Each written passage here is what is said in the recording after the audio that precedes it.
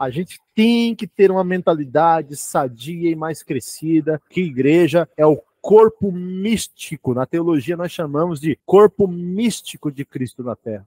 Quando se fala de místico, está falando dessa forma fora da matéria, desta forma fora de paredes da matéria. Aquele lugar que eu e você vai, quatro paredes, é uma parte, é uma instituição que faz parte, que lá dentro tem. Eu vou ser sincero que eu tenho problema com pessoa que acha que as quatro paredes é santa, é gloriosa.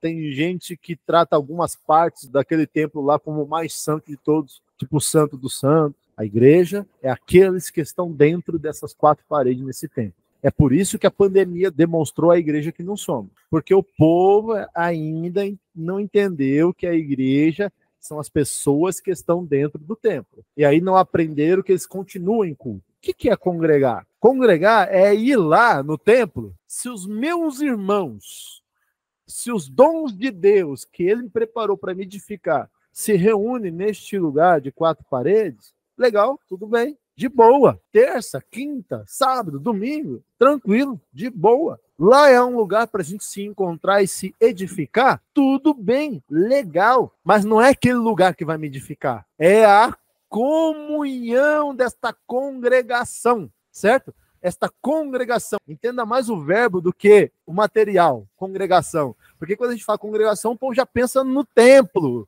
quatro paredes. Pensa no verbo, na ação, o congregar. Se a gente tem um lugar específico da gente se encontrar e expressar esta congregação ou esse congregar, tudo certo também. Nós vamos e vamos se encontrar lá. Mas não é o lugar, é o ato de estarmos reunidos. Jesus chamou esta reunião, esta congregação, o ato de se unir para congregar, comungar, Jesus chamou de eclésia. E eclesia não era nenhuma quatro paredes, era o ato de reunião, porque eclesia é uma reunião solene, tá? Eclesia é reunião solene. E Jesus fez um empréstimo, tá? Era algo existente daquele tempo, tá?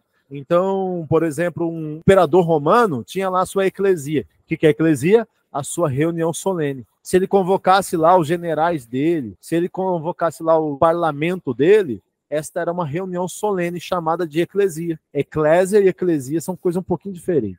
Mas só que Jesus tem uma reunião específica e própria dele. Então Jesus tem a eclesia dele. Então Jesus tem os chamados para participar da reunião dele. Inclusive, esses que são chamados para participar da reunião dele, ele falou assim: ó, as portas do inferno não prevalecem contra essa reunião aí. Tá vendo que não é o templo? Tá vendo que não é a parede? Tá vendo que é a reunião do povo santo em nome de Jesus? Percebe ou não, pelo amor de Deus?